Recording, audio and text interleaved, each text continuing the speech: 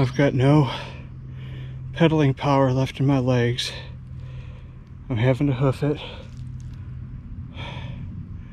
I'm at the 10 mile mark and I still haven't found this village or the remains of it. And I still have at least three miles to go until I get back to my car. Probably four.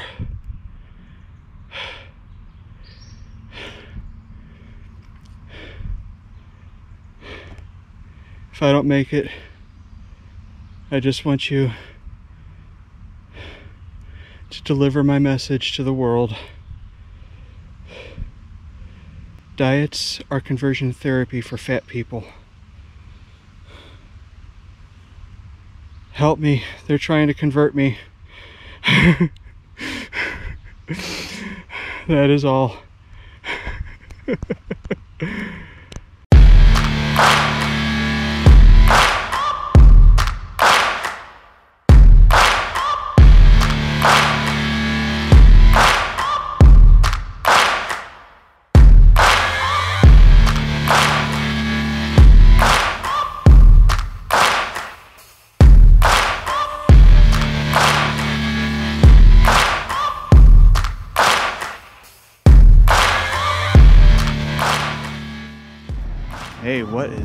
camera people? Welcome back.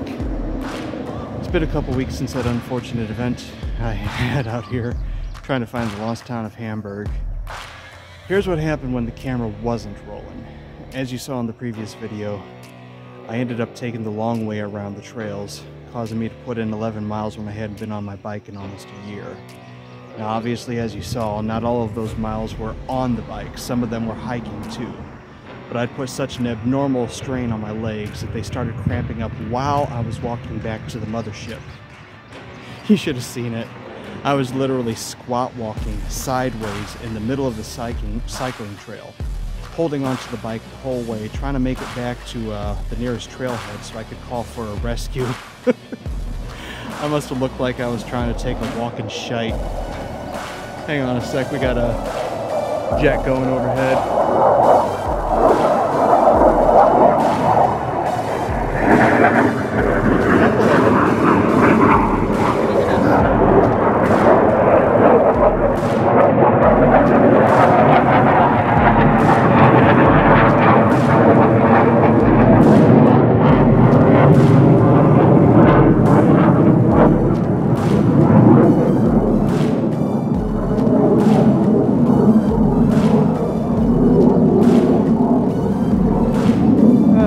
Always interrupting me when I'm at my best.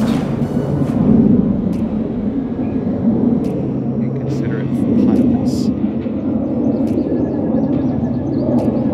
Anyways, I ended up calling my friends Angio and AJ McCready, who luckily they were already out on Highway 94 at that point. Maybe they were at the archery range or something, I don't know. Busch Wildlife does have a couple of nice archery ranges, but yeah, I had to have them come pick me up and take me back to the mothership. While I was waiting for them, I made a painful attempt at trying to sit down and rest my feet and legs. But when I was halfway down to the ground, I heard a rustling sound next to me. I look over, there's this huge ass snake sliding up right beside me. Now, I don't know snakes other than they activate my automatic nope protocol and don't start lecturing me about the shapes of their eyes or the locations of their assholes. For obvious reasons, I was not wearing my glasses at that point, and equally obvious should be the fact that I wasn't about to stick my face down there close enough to find out if the snake was poisonous or not. So, needless to say, my fat ass reversed course and I took off in the same direction as that snake. Only I took off at about the same speed as a constipated old man waddling to the toilet.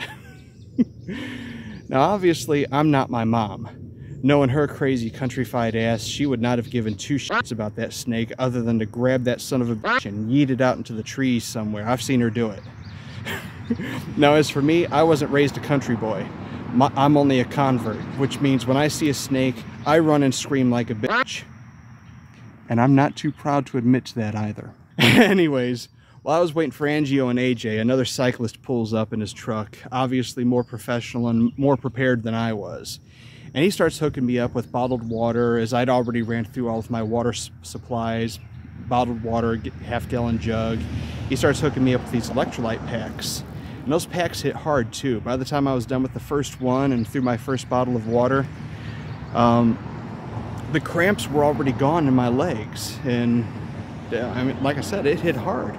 Who knows? Along with Angio and AJ, um, that, that, that dude over there, he, he might have actually helped save my life because I'm pretty sure that despite my preparations and all the water I drank, I think I was partially dehydrated while I was out here. So, on the off chance you're seeing this, kind sir, thank you for your help. Anyways, Angio and AJ zipped me back to the mothership. I came back to pick up my bike went home to recover and put together part one of this video as well as to do further research on the location of the town of Hamburg. Damn, I can go for a hamburger right about now. Anyways, while I was digging around, I found a blog online which included GPS coordinates to various parts of Hamburg. But these coordinates looked like nothing I've ever seen before. Turns out the blog's author may have been using a mil-spec GPS. So, I had to find a dependable app that could convert those coordinates to something my own navigation apps could recognize. Well, I got all that done. Now I'm back in the field and I'm ready to finally be able to present to you the remains of the town of Hamburg, Missouri. But first, make sure you smash that like button for me. Your tubby boy could have died out here trying to show you this stuff. The least you could do is like the video.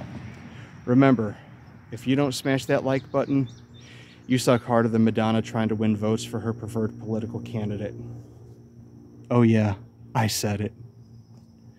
And if you're new here, feel free to subscribe to see more Missouri history, more Missouri hauntings, and more, of course, recreational douchebaggery. YouTube's analytics show that less than 3% of my viewers are also subscribers, so do your tubby wubby a little favor and subscribe, will ya? I'd love to see my channel break 400 subs by first. I know it's a far cry from the fan base I used to have when I all I did was those Silent Hill parodies, but you, you can help me get it up again. I can't believe I just said that.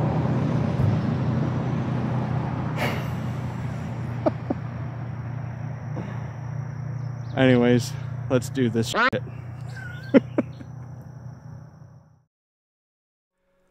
The founding of the towns of Hamburg, Howell, and Toonerville, Missouri can be traced back as far as the 1830s, but one would have to look as far back as 18th century Europe to understand exactly how these three Missouri towns came to exist. In 1799, a gifted French military tactician became de facto ruler of the French Republic, setting himself on a path which nearly led to total domination of Europe. History will remember this Frenchman as Napoleon Bonaparte, and his conquest of Europe was unlike anything the world has seen since the times when Asia and Eastern Europe were ravaged by one of my own ancestors, Temujin, who you might know by his more commonly recognized name, Genghis Khan. What later became known as the Napoleonic Wars not only led to mass loss of life, the likes of which would not be seen again on the European continent until the rise and fall of Hitler's so called Third Reich.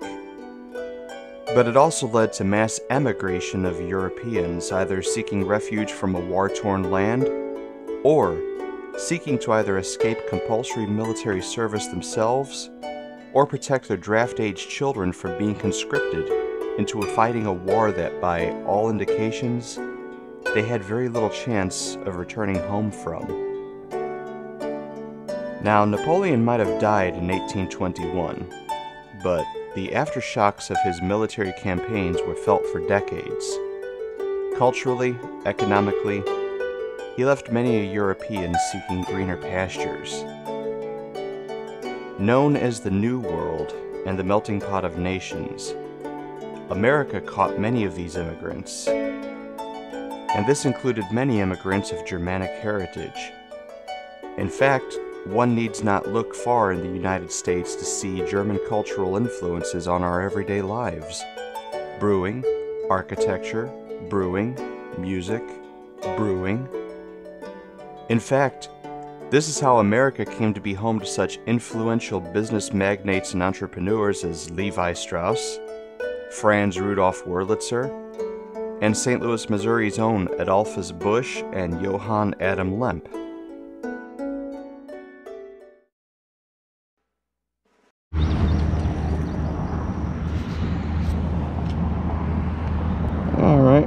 That covered in case anybody sees the car just sitting here. It's what I also do do when I uh, go cycling in random places that are kind of unusual out of the way. Nobody expects to see a car sitting there with a bike rack on it. Just leave a note. I can't find my dry erase board this time. I usually just use that. But yeah, anyways, let's do this.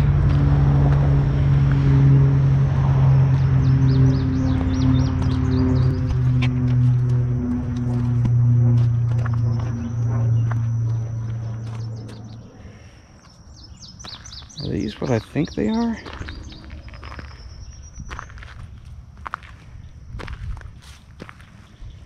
They sure are. I forget what they're called. Maybe somebody who paid attention in their uh, Red Dead Redemption tutorials might be able to tell me what this is. Angio showed me these one time. You pluck these leafy things out of them and they're not actually leaves.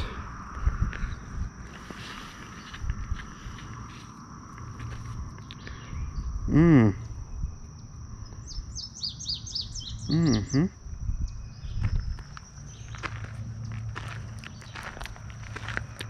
They've got natural sugar in them.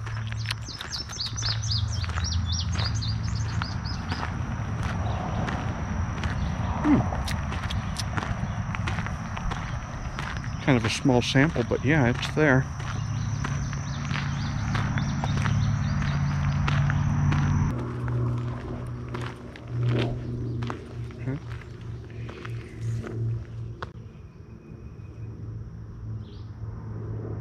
Well, I heard running water, but it stopped as soon as I stopped walking.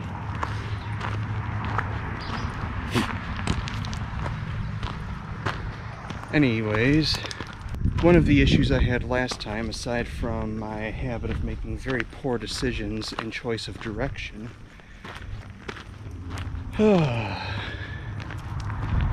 is that the Lost Valley Trail, the Hamburg Trail, all that, uh, circles around what remains of the ordnance works, while the actual remains of, or the majority of the remains of the town of Hamburg are on the other side of 94 there.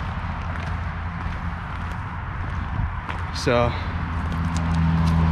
again, I've got the uh, GPS coordinates for various sites over there, but the pull off, which was the first stop that I logged for, uh, or that I got the GPS coordinates for, it's a pretty serious drop off of 94. And while I could get my car back there, it'd probably do some undercarriage damage. So I parked up at the Toonerville uh, trailhead and I'm gonna hike down the Hamburg Trail heading in the direction that I should have taken last time and then just hop across 94 see here's where I was last time. And I should have went that a ways last time but I'm thinking oh okay. Well that looks pretty scenic down there. I'm gonna go there. And hence that is how my horrible story begun but it's okay. Because obviously I survived. And my fat ass is better for it. Or at least I hope my doctor thinks so. Hi doc. Bless me doctor for I have sinned. I broke down and ordered a pizza last week. Please forgive me. I couldn't help myself. it, it, it kept calling to me. It said, Tommy, Liebchen.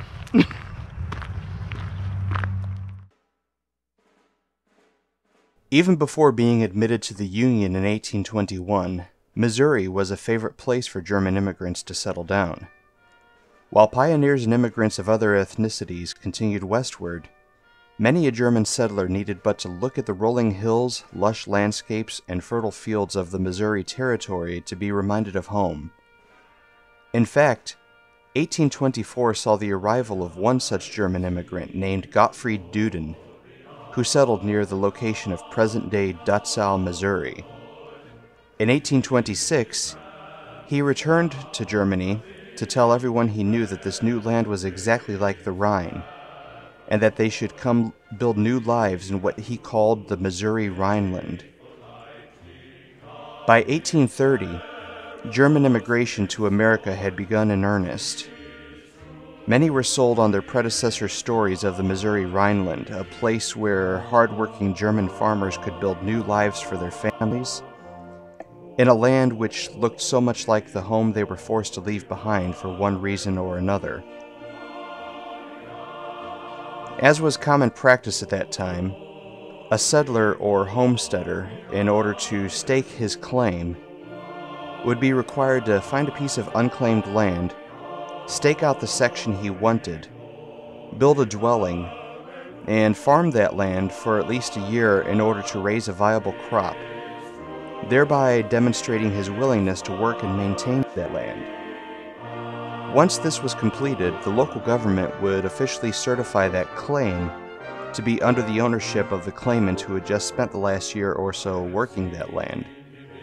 Not only was this a sweet deal for the 18th and 19th century American settlers, it was an especially good deal for migrants who had just left their homes far behind in a war torn land, in many cases, barely walking away with whatever the entire family could fit into a single trunk. It was also a common practice at the time for your average homesteader to leave his family behind in a safer, well established community, sometimes as far away as New York, where America's most frequently used port of entry was at that time. While he would go out and stake his claim, build a home for his family, and turn his new land into a workable farm. Just think back to John Marston's epilogue in Red Dead Redemption 2, how he had the home all built up and the farm functioning long before Abby and Jack ever arrived.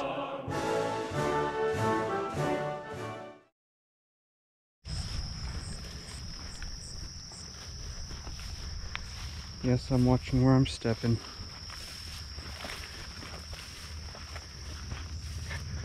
But while I was looking for somewhere to step off the trail and take a piss, I accidentally found the Maids or the Mades Cemetery. I don't know how it's pronounced.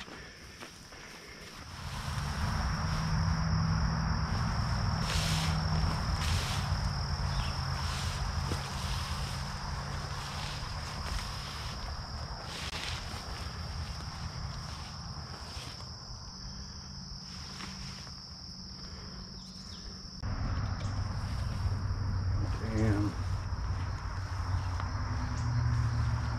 Look at this. You gotta be careful. I don't know where to step. Except for this one little bunny path coming through here.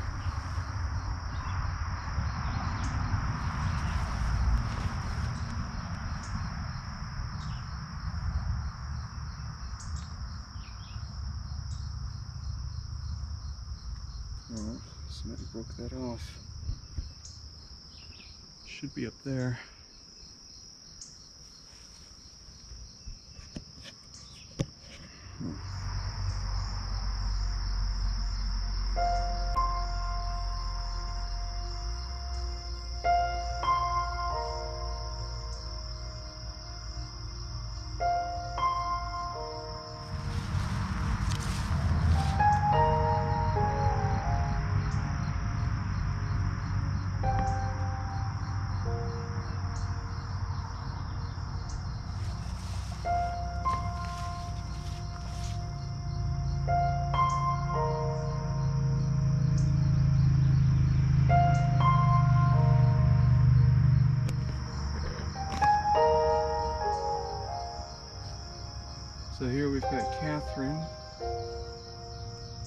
1817 it looks like, to 1903, 1902.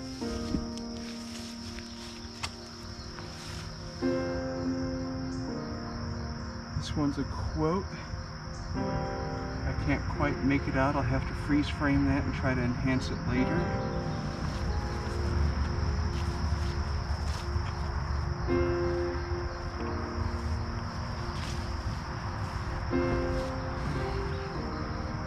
This one is George, 1810 to 1865. I didn't bring any pennies, but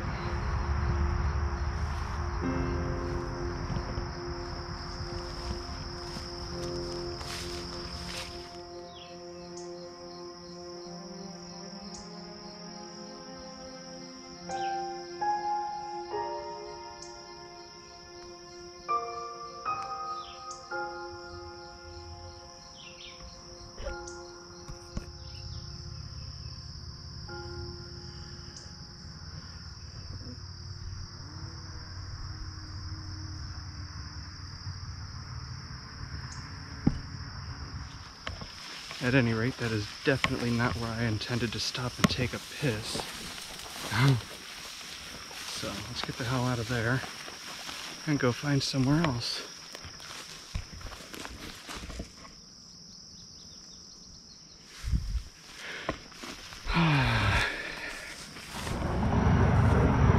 now I gotta do some backtracking. Uh, I used the GoPro app to set the time on the GoPro and it forced an update through on the camera before it would let me use the camera again. While it was doing that, I couldn't switch to the navigator. I hadn't realized that while that was going on, I had walked right past uh, where I needed to cross over across 94 to get to that uh, pull-off point and start my actual journey. So now I'm backtracking so I can do that.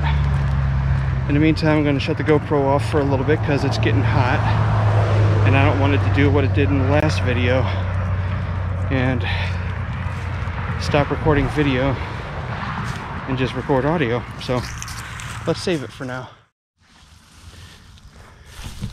Alright, so I've made it to the pull off. Got the navigator running and yeah, I'm right next to the highway here. I've got a trail going down in the trees about 270 yards east of me would be the, not the remains, but the original, oh look at these, one of those carnations. Anyways, down this way. Ooh, damn. This Is where the original site of the Hamburg schoolhouse is supposed to be.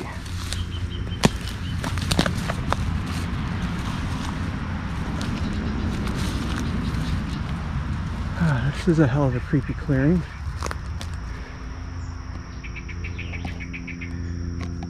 But I'm almost to the original roadbed as well.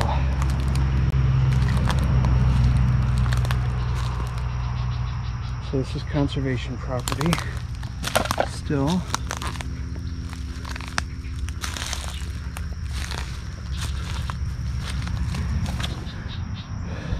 This right here, this is just where they run the utility poles.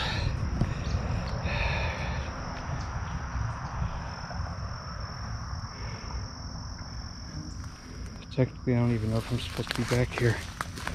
But we will see what we will see. In all fairness, I will turn around at the first no trespassing sign.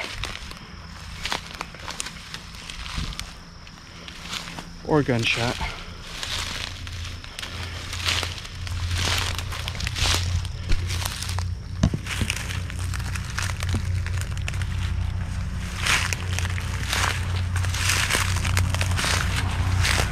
There's a helicopter.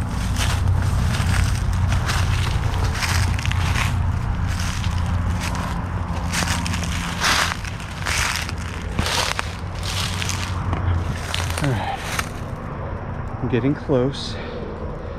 I'm not going that ways. I'm going around this ways.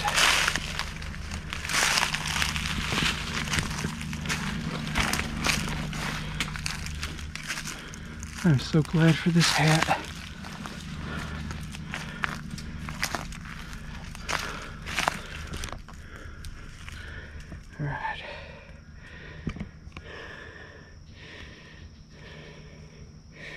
See, the funny thing is, as soon as I tapped the area, that was about 300 yards off of the turnoff, it automatically brought up Hamburg school site.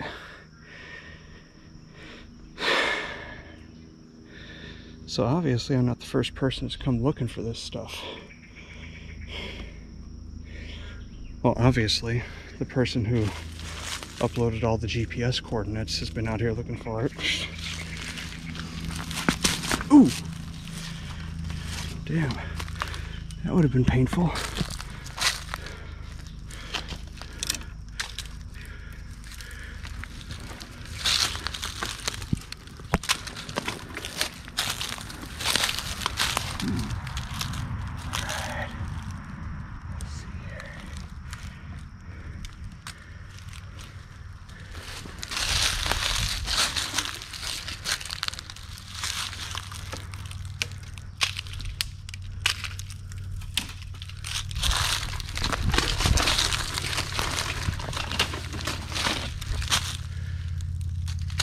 She said, enjoy your hike.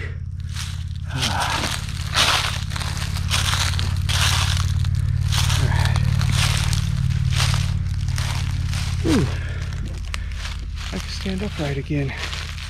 Yay. Alright.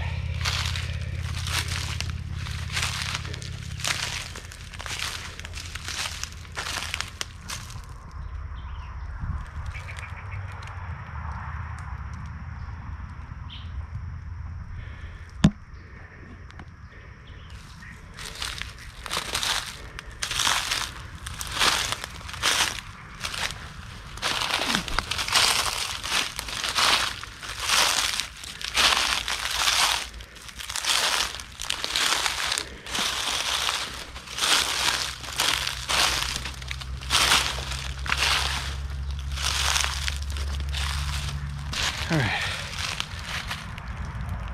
So the upside is I am now standing at the site, the location of the original Hamburg schoolhouse. The downside is the online sources are correct. If this is the right location, there are no traces left of it.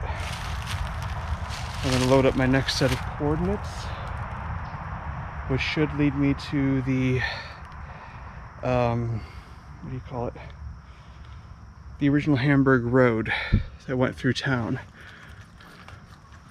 But first,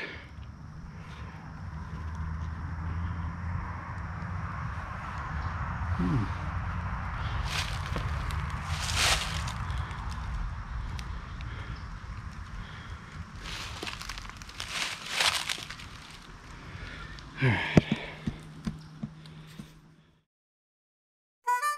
Getting back to St. Charles, though. While St. Charles itself was settled by the French in 1766, St. Charles County didn't exist until the War of 1812 began in, well, 1812.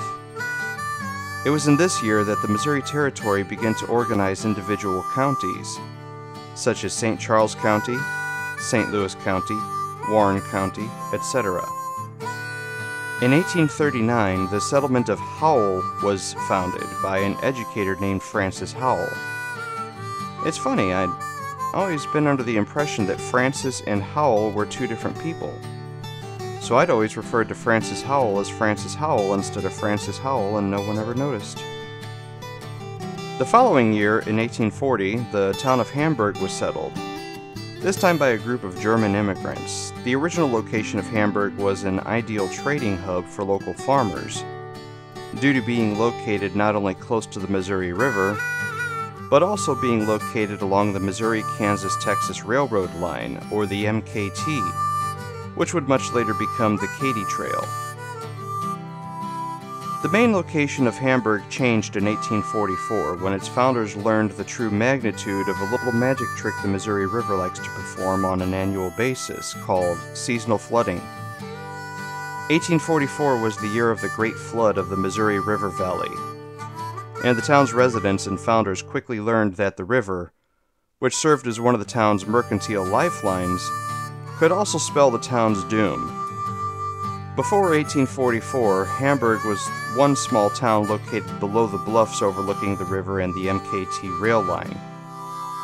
When they realized regular flooding was going to be an issue, much of the town was moved and rebuilt atop the bluffs, for the most part leaving behind only the Hamburg train depot and a few steadfast residents who were unwilling or unable to relocate.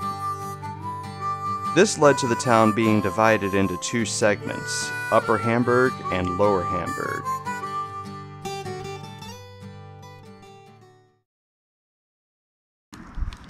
Because I don't want to spend the next three quarters of a mile squat walking through the woods. I am not in a Bethesda game.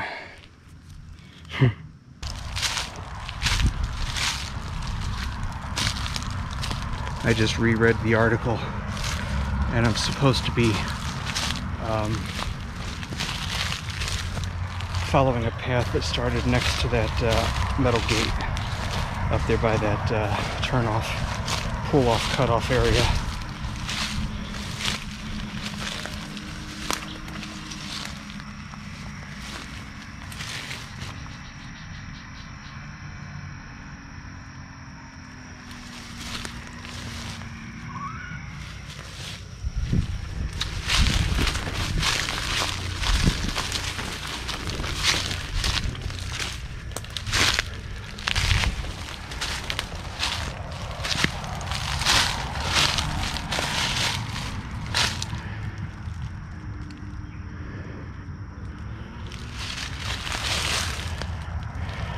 I gotta decide what the that noise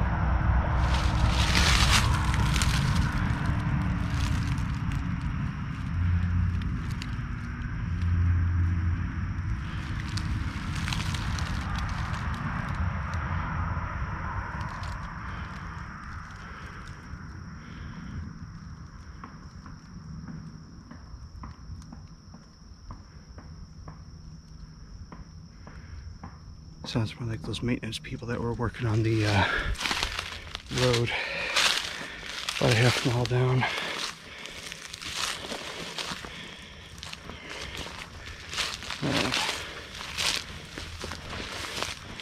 Because again, I haven't seen any no trespassing signs, but I don't know if I'm supposed to be back here or not.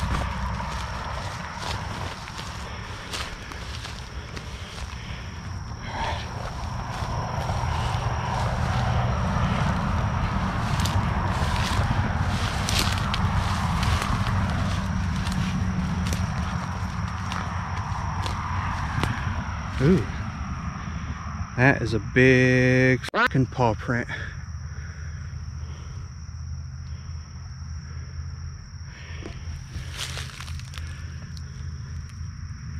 If y'all know what leaves that kind of paw print, let me know. So I got the strange feeling I don't want to find out while I'm out here. Ugh. That just gave me the willies.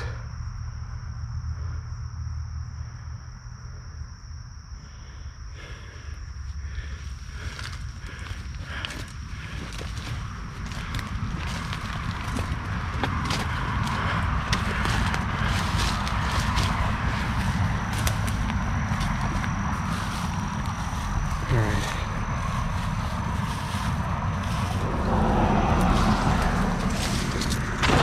Alright, so there's the metal gate. She said the trail starts next to the metal gate. It is very obvious.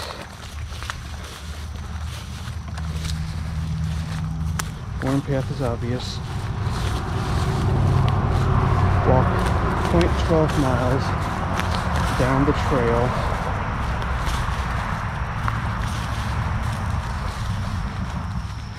This is definitely a more tolerable path.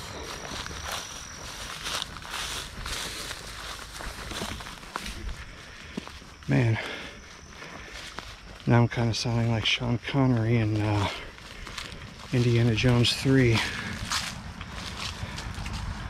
All I need now is a Tootsie Roll and I can sound exactly like him. Guys, I just found what was making that uh, huge ass footprint. It's pretty creepy.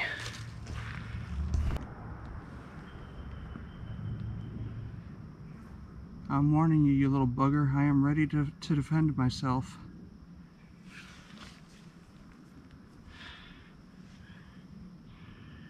Yeah, cute little shit. Now gonna continue down the path.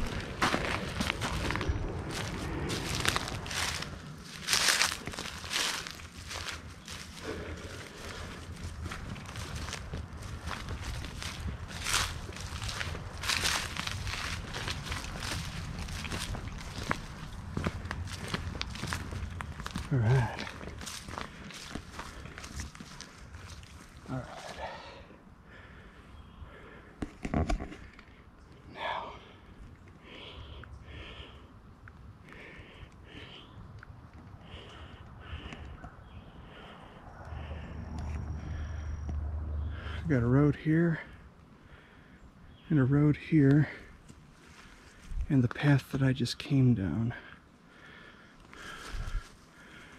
Now granted the compass and magnetometer in my phone isn't quite right but it looks like this way is going to lead me to the original roadbed so this right here would probably be the original dirt country road that led into town so we're gonna follow it but first I gotta pull my pants up and plug my charger in into the camera, I mean. Come on, man.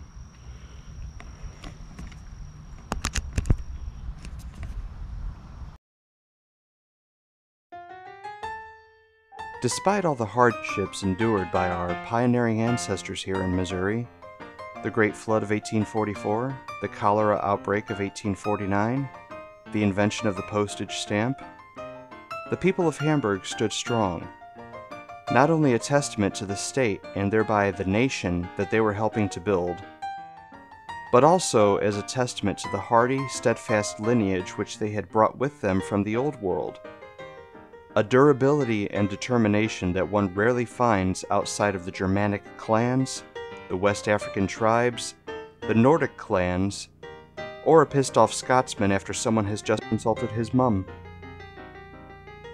Life was good for the townsfolk of Hamburg and Howell. Hell, in 1881, Howell even opened up the Howell Institute, the grandfather of the Francis Howell School District. So both towns now had access to an accredited educational facility. This might also explain why during the filming of my original unpublished Randonautica video, the GPS said that I was in the Francis Howell School District while I was actually standing in the middle of the August Busch Wildlife Reserve. The location of the town of Howell now makes up a small portion of Busch wildlife, as the Busch Wildlife Reserve is actually made up of over 6,000 acres of lands originally acquired for the construction of the Weldon Spring Ordnance Works, but which seem to have gone unused in that project. Even when the Great Depression started in 1929, farming communities still fared much better than the cities. City folk relied mainly on meats and vegetables to be brought into the cities via train and wagon. As not a lot of companies at the time were sold on the idea of the internal combustion engine, they still relied on the affordable, low maintenance horse drawn carriage. while country folk and farmers had access to the foods they themselves were producing. Plus, with the scarcity of expensive fuels and high costs involved in acquiring long range transportation at the time, combined with the seclusion of farming communities such as Hamburg, basically outside of the railroads, St. Charles County didn't even have direct roads connecting to the St. Louis area until the Daniel Boone Bridge was completed in 1937. So the idea of city folk raiding farms for food was a rather far fetched idea especially when it was much easier to wait near the rail yards and just raid the produce trains as they rolled in. Hell, as a kid, I used to listen to the old folks tell stories of how they would raid the trains as they were pulling into Produce Row in North St. Louis. They made it sound less like providing for their starving families and more like harmless, jolly fun. Unfortunately, the true tragedy struck Howell, Hamburg, and Toonerville when Adolf Hitler declared war on the world. When Hitler became Chancellor of Germany in 1933, he set forth a chain of events that would forever change the social, political, and economical climates of the entire planet.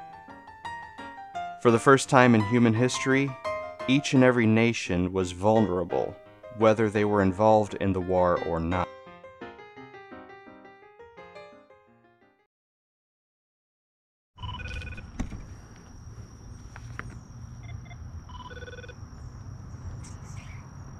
Hey, what's going on? Did you put your wallet? No, it's uh, right here in my pocket. Alright. Someone's coming out for you. Alright, I was just wondering because this woman brought, was saying she has TT6644E, 20 foot, and she says she found a wallet that said like Tony Andrews or Emerson or. No, no, definitely not me. Thanks though. All right, catch catch you later. Bye.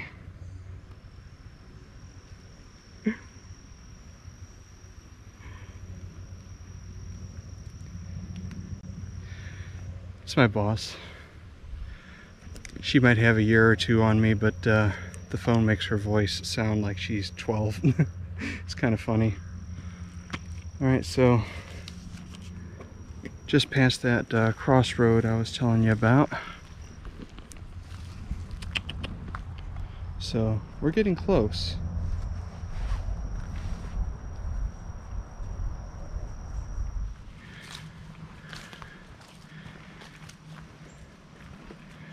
Alright, so this could possibly be right here. The ravine that they say the folks of Hamburg used as one of their dumping grounds. It could be, or it could just be local hillbillies dumping tires. I don't know. Then again, I can't see hillbillies having uh, abundance of white walls. Like right down there.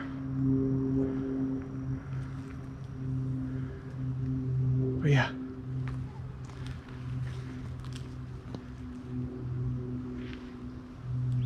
So this could be the little ravine. It could also be the roadbed that I'm looking for. Then again, maybe not. I don't know. We're gonna keep going though.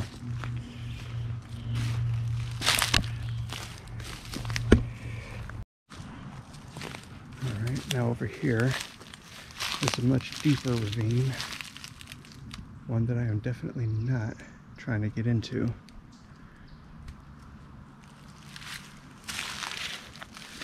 And that's right across from where we just saw those tires at. So let's keep going.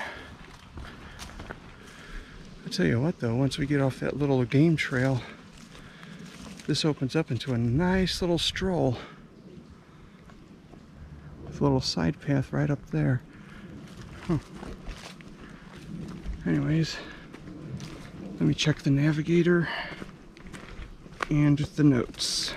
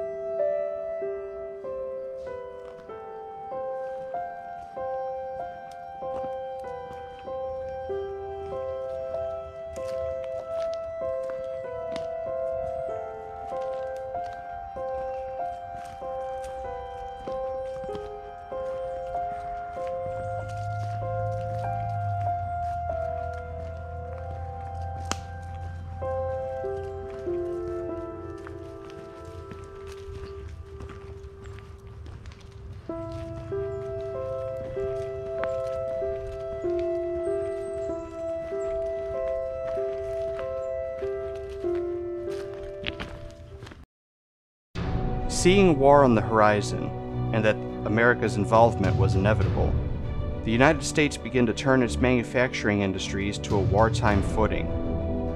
Home appliance factories were retooled to produce infantry equipment. Clothiers began to roll out uniforms, while textile factories produced tents and other types of canvas walled buildings. Automotive manufacturers retooled to produce armored vehicles, infantry transports, cargo trucks, and the like. This would also explain why, on occasion, you can still happen across an antique Jeep, which carries the badge of the Ford Motor Company. Because during wartime production, if your factory could make something that was needed on the front, it damned well made it, and copyrights and trademarks could go to hell. While the United States did have plenty of arms manufacturers like Remington Outdoor Company, Winchester Repeating Arms, Browning Arms, what it lacked was a large scale producer of explosive ordnance.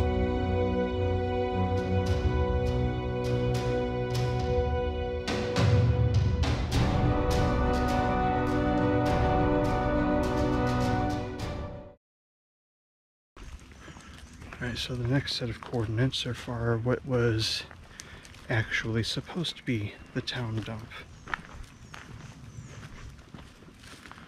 Which should be that ways.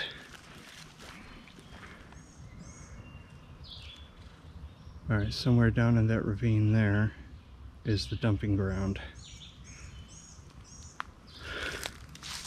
I'm not climbing down there this time of year. Honky don't play that. So, next set of coordinates.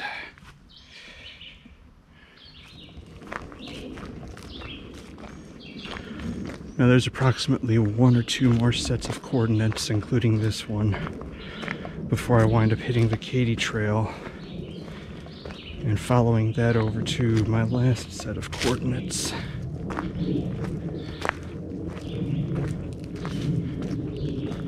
Now what I'm heading to now is actually supposed to be the Heck Roth Cemetery which is also near the remains of the John and Susan Beatty home.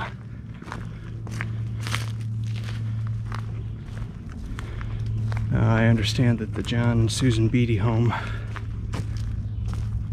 is the one that's rumored to still be standing, but that rumor is actually the cellar is still there,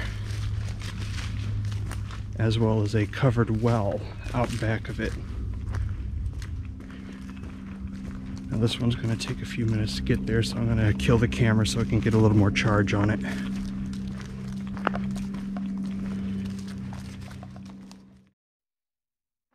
World War I was known as a trench war.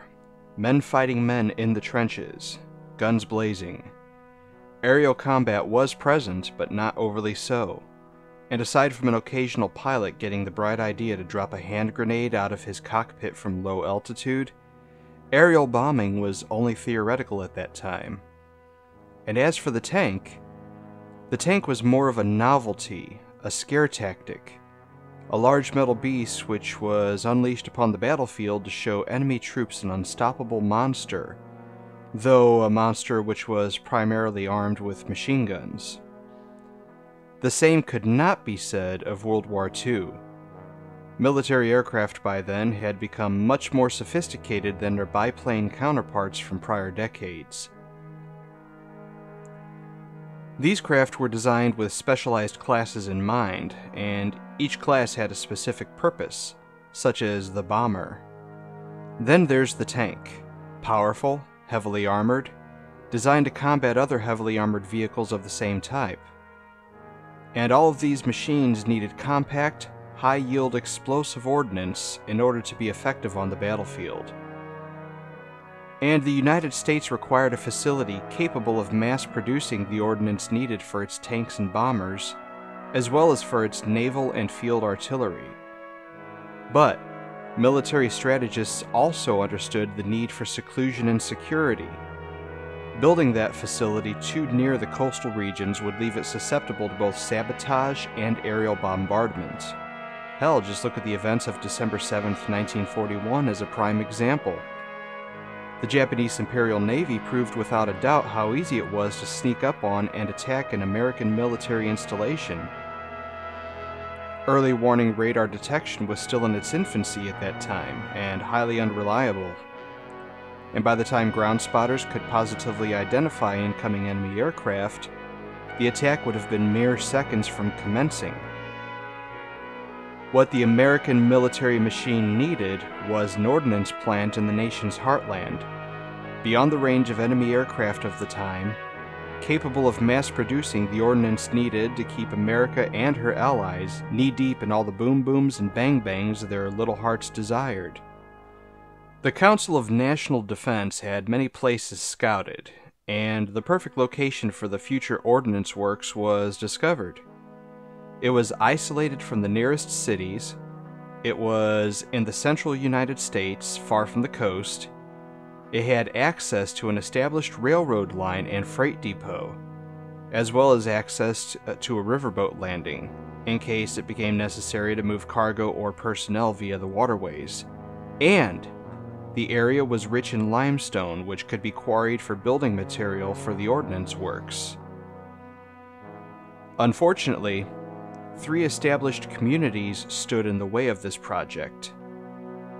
Equally unfortunate is the fact that established communities had never stopped the US government before.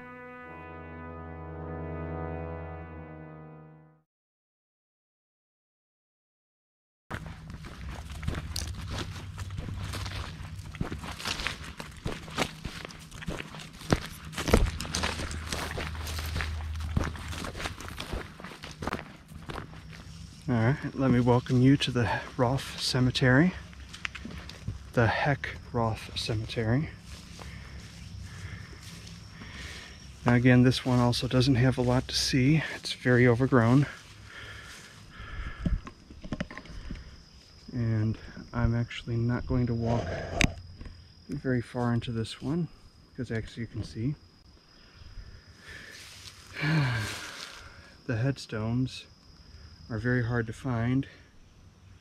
A lot of them are on the verge of toppling, the ones that are still standing. And the last thing I want to do is be responsible for knocking one over.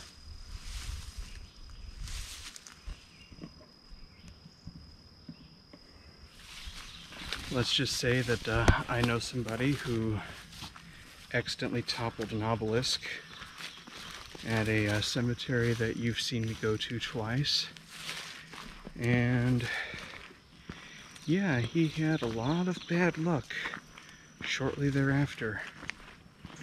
Now, if that's the Heckroth Cemetery, then about a hundred feet down the way on the same side should be the Beatty House.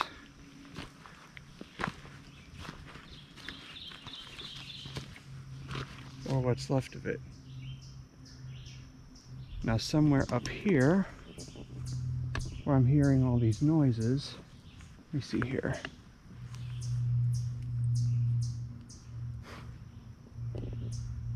Adolf and Rose Daniel house across the road between the cemetery and the Beatty house. So, but again, that's just another foundation kind of place.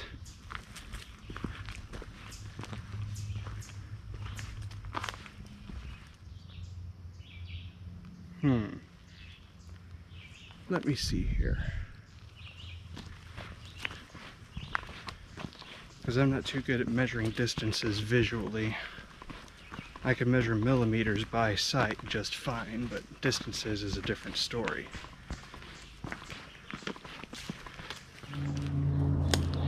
Guys, I wish you could seriously see this exactly as I see it right now.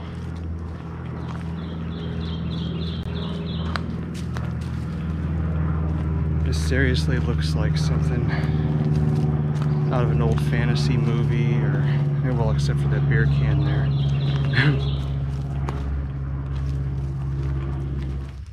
Anyways.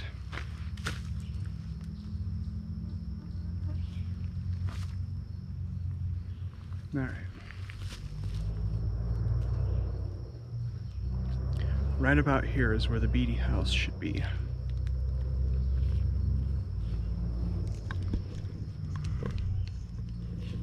I gotta figure a way through that.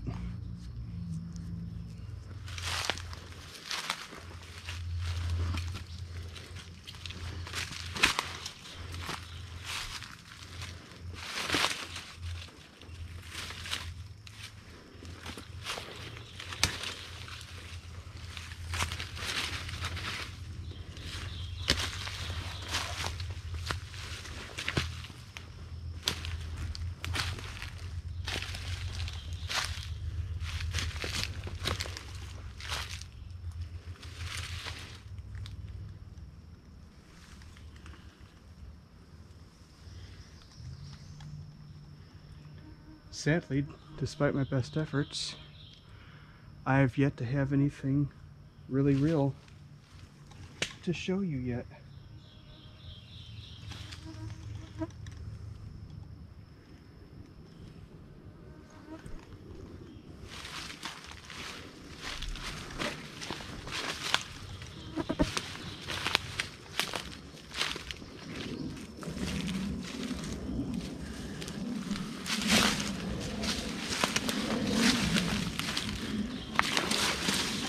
Ouch. That's definitely not the way I came through it. But oh well. Ooh.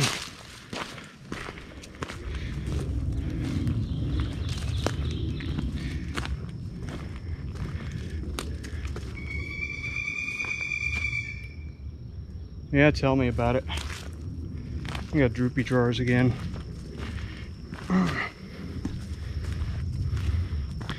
That's what I get for losing so much weight keep winding up with my crotch right around my knees.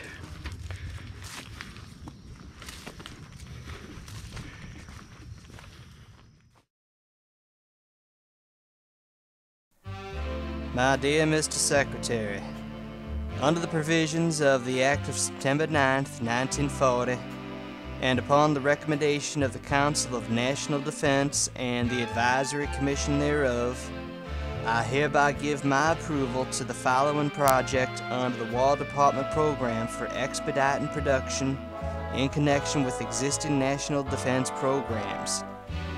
Construction of a TNT and DNT plant at Weldon Springs, Missouri, costing $14,500,000. Sincerely yours, Franklin Delano Roosevelt, 17 October 1940. By September of 1940, President Roosevelt had given his seal of approval for the National Defense Project, which would create an ordnance factory at Weldon Spring, Missouri, acquiring 17,232 acres of land to do so. The only obstacles now were the construction of the ordnance works itself, and of course, getting rid of all the pesky people who owned the land where the ordnance works was to be built. And then it happened. That dreadful headline. $11 million for TNT plant. Those big black letters stood out like a smudge of dirt on a nurse's uniform. The article stated that a TNT plant was to be located in the southeastern part of St. Charles County. That's where we live. Surely they're not going to take this beautiful countryside and build a TNT plant. Yes, the article said some 18,000 acres of land would be acquired for that purpose. That will take in all of this part of the county. Better go over and see what my neighbor thinks of this. There must be some mistake. Everyone said it was a mistake. No one told us that this land might be taken for that purpose. Surely we would have heard something about it. Just one of those mistakes those city papers make nowadays.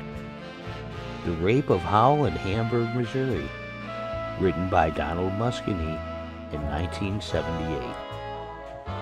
Through the use of lowball monetary offers, legal threats, and eminent domain, also known in Missouri as outright land theft, the residents of Howell, Hamburg, and Toonerville were either bought out, chased out, or in some cases kicked out, being given just three months to pack up their entire lives and the histories of their forebears, many times stepping out of their lifelong homes just in time for the demolition crews to set everything they ever knew ablaze the moment they walked out the door. Construction of the Weldon Spring Ordnance Works proceeded at such a rapid pace that by 1941, parts of the facility were already going into full production, pushing out TNT and DNT products at breakneck speeds. Which I suppose was a good thing, as not only was the United States able to build its own ordnance stockpiles, but in March of 1941, FDR had signed the Lend Lease Bill, providing material aid to Great Britain in her fight against the Nazi invaders, as well as providing some aid to the Soviet Union and China. But back home in Missouri, the waiting game had just begun for some 700 farmers, businessmen, and their families.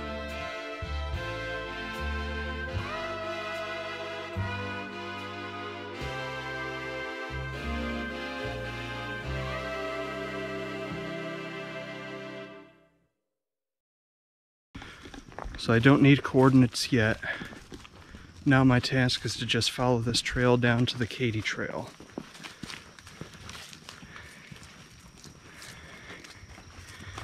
Again, there won't be anything but uh, possibly uh, foundation if I'm lucky, but uh, where this trail meets the Katy, uh, there's supposed to be the uh, location of the old Hamburg train de depot.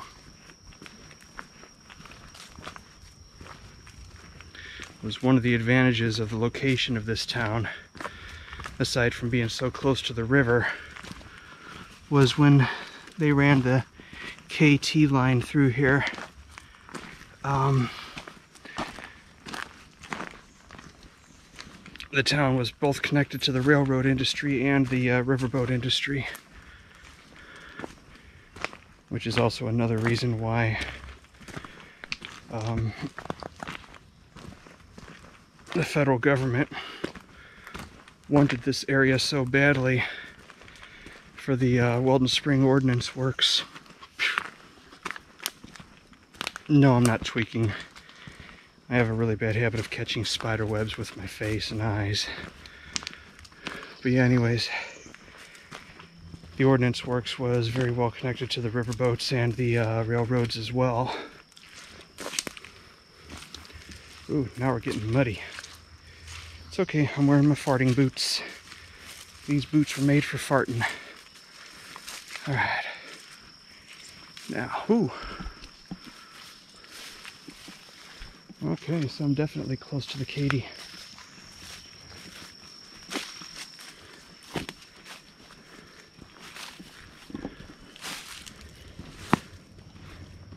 I'm close enough to the Katy that there's uh, somebody has abandoned a small boat here. I'm gonna check that out sometime, see if it's salvageable. Anyways. Alright. A footbridge.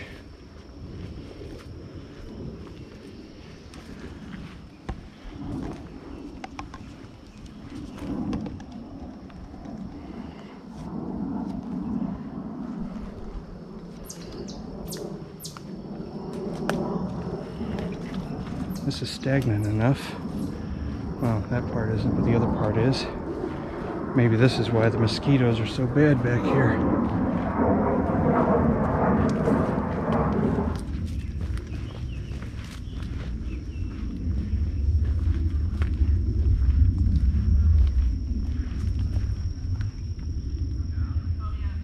Voices. Cyclists. Katy Trail.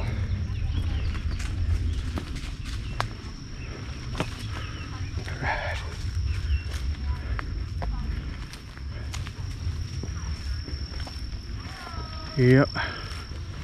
There we go. Ooh, cute fish.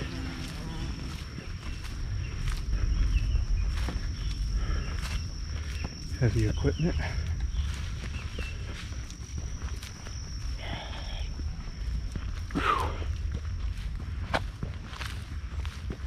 Alright.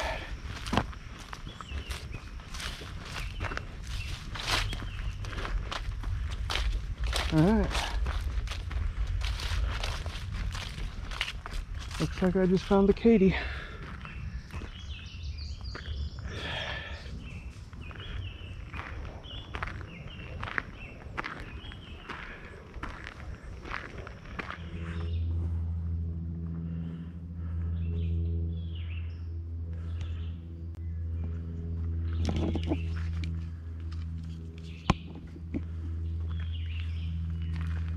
I'm telling you right now, I follow that path, I'm gonna find a shrine to Azura over there. I guarantee it. All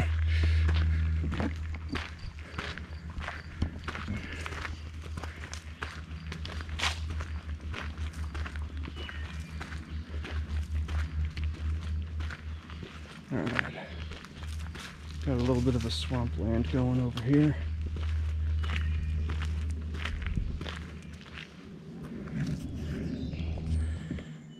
So it's a little bit of runoff from the Missouri River.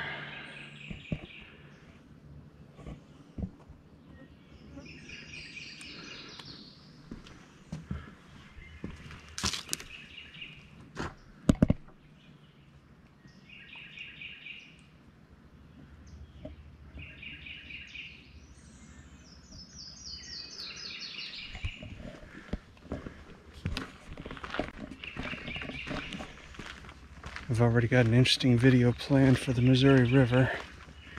But first I need a couple people to help me out with handling the camera on the shoreline. Oh, hey.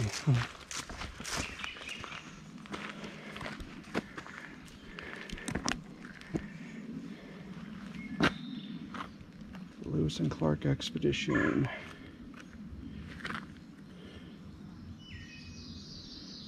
Kickapoo Indians.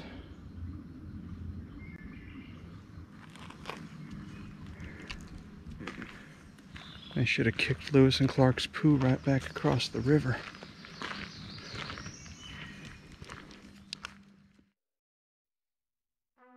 From 1941 to 1945, the Weldon Spring Ordnance Works cranked out TNT and DNT explosives at speeds which would have made any powder monkey's toes curl. Four production lines dedicated to TNT products, plus two more dedicated to DNT, meant that our Allied artillery, tanks, and bombers would be well fed throughout the entire war. And still, many residents of Howell, Hamburg, and Toonerville waited for what the government had promised them when they kicked them off their lands. But as anyone who studies American history can tell you, the US government is not known for its willingness to keep the promises it makes to Americans. I owned a farm in the area consisting of 161 acres, with this new modern improvements on it, built in 1936 to 1940. The farm was in the outlying area, that it was never used for war purposes. The buildings and fences were destroyed, and the land was rented for agricultural purposes. Payments were withheld on half of the contracts due to the difficulties with the War Department. The property was taken over by the War Department in the fall of 1940, and we were paid in the late summer of 1945. But we were forced to go to Supreme Court for a decision. We had been without a home all this time. Now, when we were paid, there was such inflation that very little could be bought with the money acquired from the sale of the farm after all those huge expenses, the courts, attorney fees, etc., were all taken off. We've been without a home all this time, and we'd like very much to reacquire ours. What's the procedure should we follow? Well, we feel that we were part of the war machinery that helped bring the war to a successful ending, and that our contribution was no small one.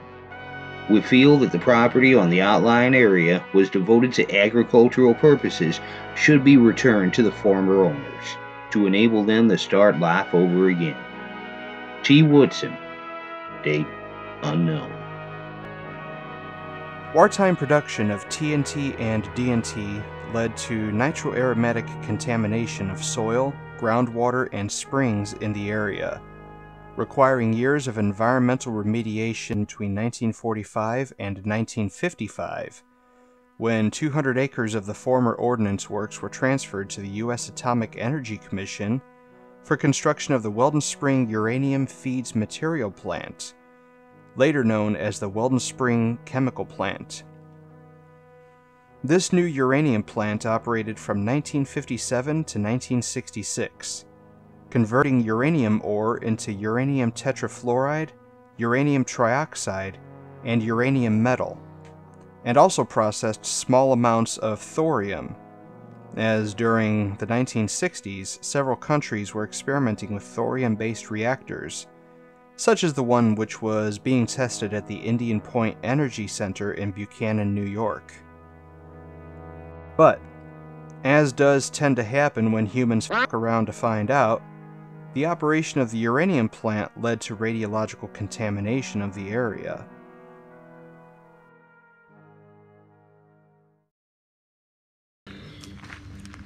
How close are we to my final stop?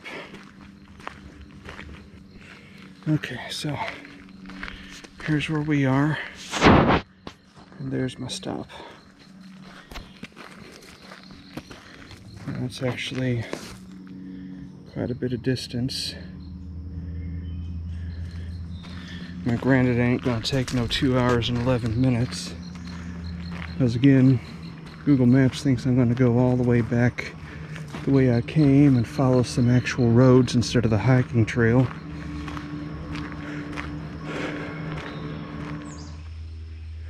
Damn, look at that. That tree is about four times as wide as I am.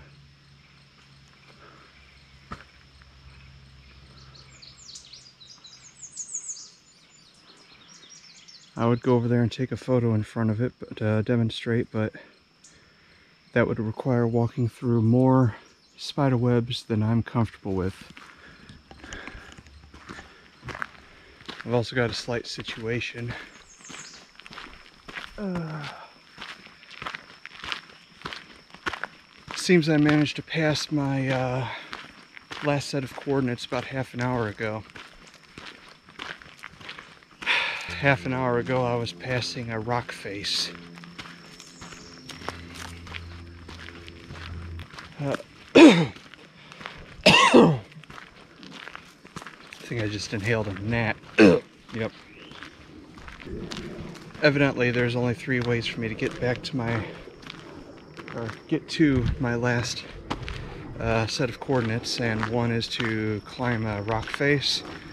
Another one is to go on either side of the rock face follow one of the streams that are coming in off the river and hope that it leads somewhere uphill. Or three you might have seen on the map that there was a another trail that goes to that set of coordinates I'll just have to get out on the road somewhere in the car and find my way into that uh, location uh, by road.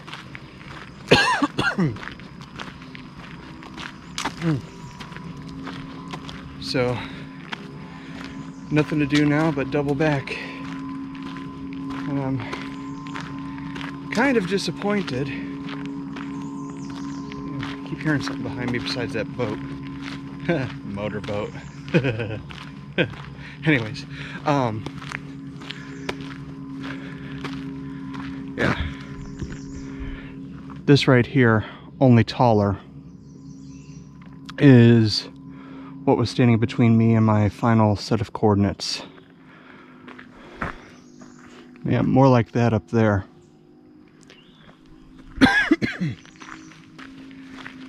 I do stand rather disappointed. I came out here to show you the ruins of a town razed by the government after they stole the land away from the people that lived there just to build a weapons plant. And all I've got to show for it is two small cemeteries and a lot of hiking. Well, hopefully, the documentary segment of this video will make up for that lack of visual representation. If not, so sorry. I did my best.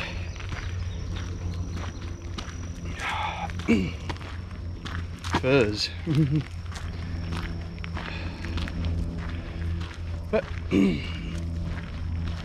right now, in order to make it back to my car before dark, I'm going to have to backtrack along the trail that I took in here. Because if I try to take the Katy Trail down to where I can access 94 and then hike along 94 back, it's going to take several hours. It'll be well after dark.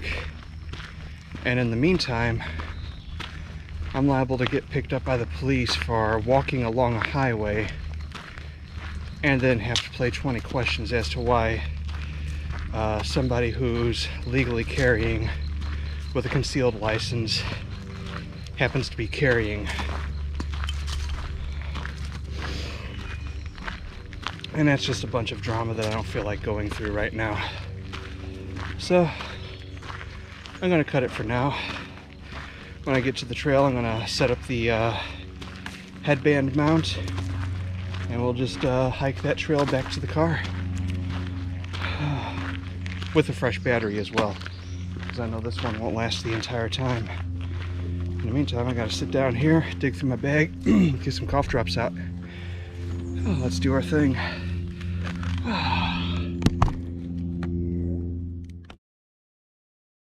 The uranium plant ceased operations in 1966.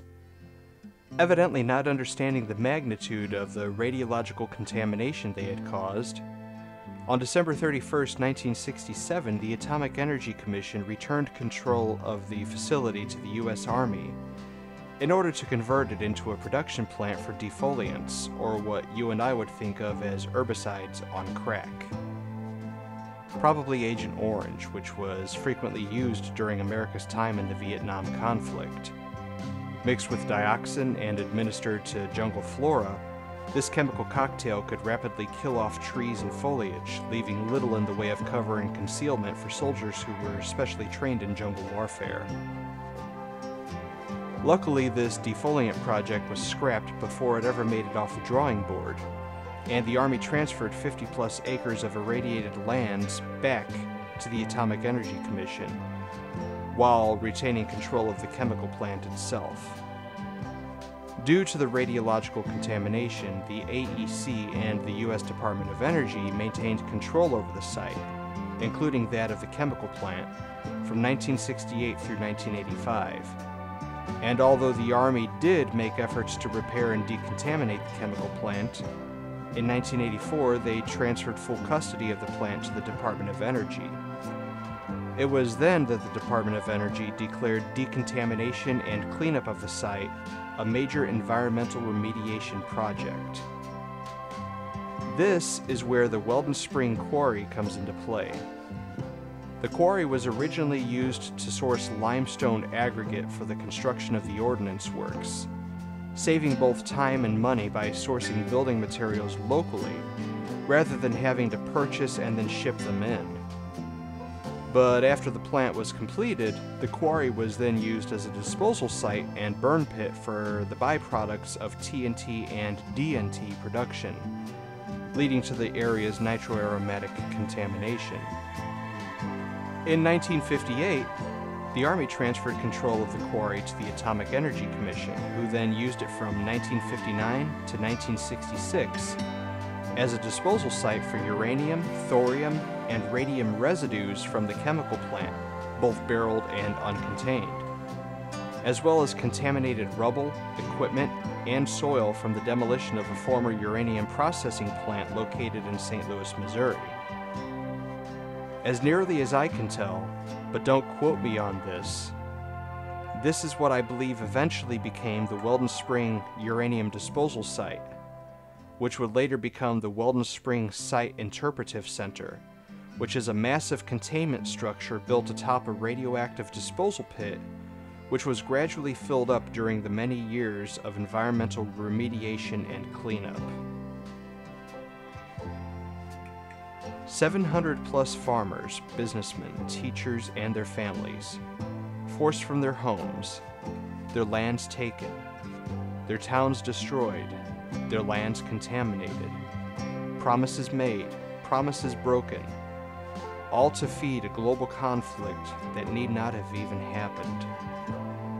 So many dreams shattered, so many lives forever changed, so many lies stamped with official seals of approval, and so many whispers of the past struggling to be heard even today over the hustle and bustle of the modern men and women who pass to and fro on Highway 94, unaware or unconcerned with the voices of yesterday, desperate to tell their stories to any who are willing to stop for just a moment and listen.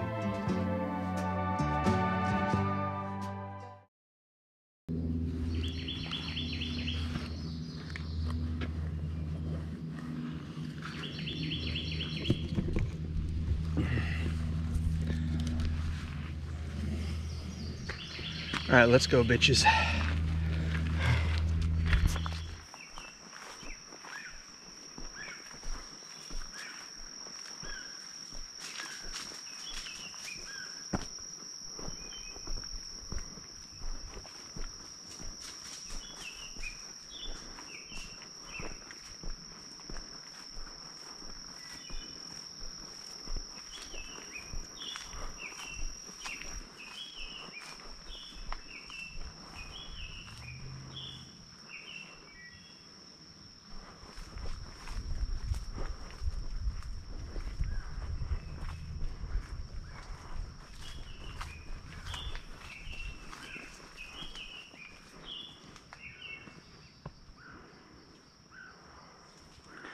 No, that requires crossing a fence. I ain't doing that.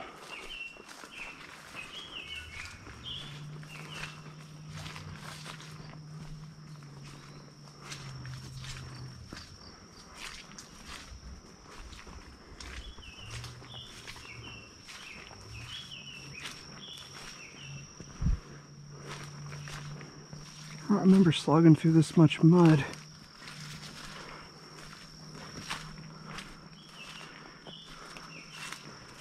Think I followed that little trail over there the first time through.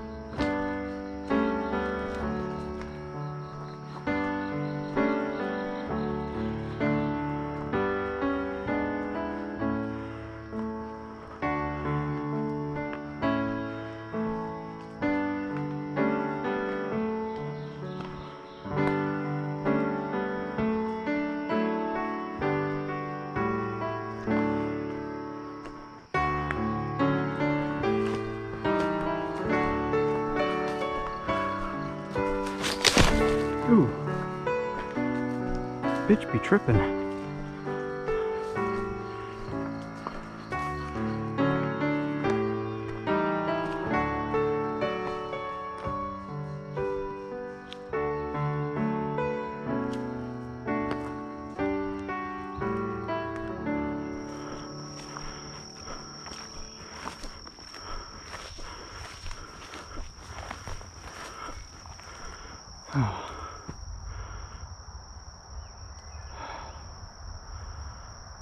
I would love to, but my back is killing me.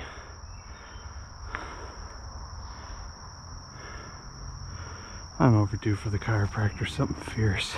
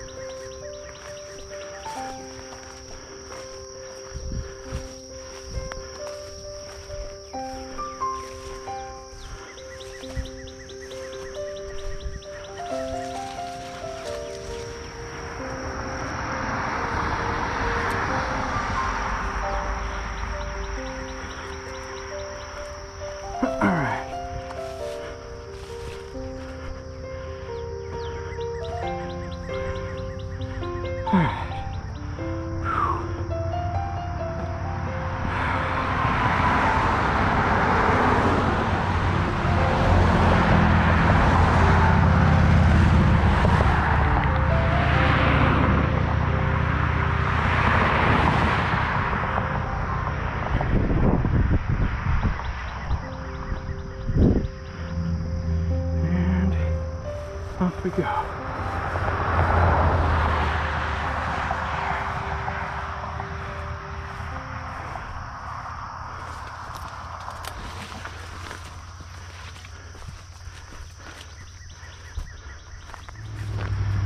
Alright, so I made it back to the uh, Hamburg Lost Valley uh, trail loop.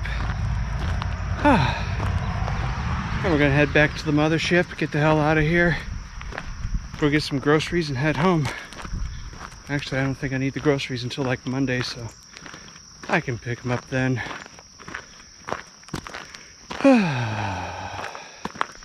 so, we'll see you when we get there.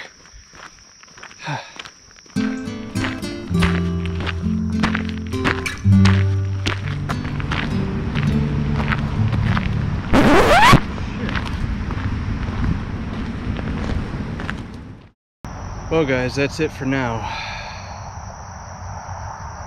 Sorry I didn't find the ruins that I promised.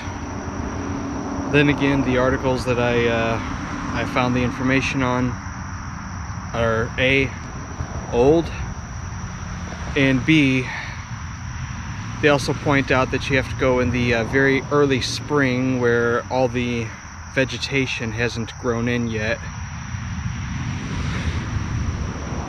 Or oh another tick. They have not stopped trying. And another. Holy shit they are tenacious. Yeah. Anyways like i was saying what was i saying uh, the article was both very old and it did specify you have to be here in the very early spring or late autumn in order to find the places. So hence my not actually finding any ruins for you. Um, now even though this is part two of two, I'm not done yet. Um, it's not how sorry, it's not Hamburg, but um, you remember in the first video that lady that I spoke to pointed out that if you go across the water you're gonna go up a road and find some foundations. Uh, if I'm reading these maps correctly, those foundations are actually outbuildings for the old DNT uh, or whatever it was um, quarry that supported the ordnance works and when they shut everything down they flooded the quarry so now it's actually a little lake. But the foundations are still there. They even show up on the satellite maps. So I'll be heading up there in a future video to check that out and check out a couple other things that I want to see up here. In the meantime thanks for checking out this video. Thanks for checking out the first one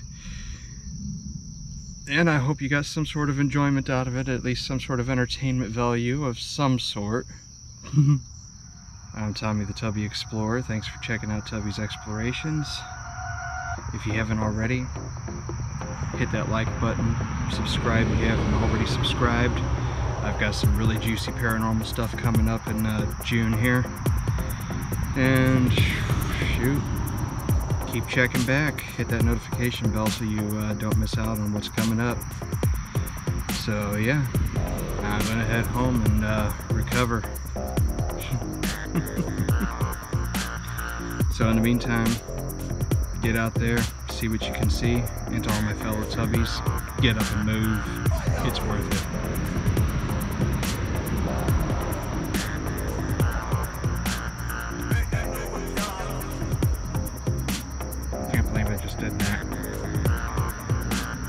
Skaters. See ya.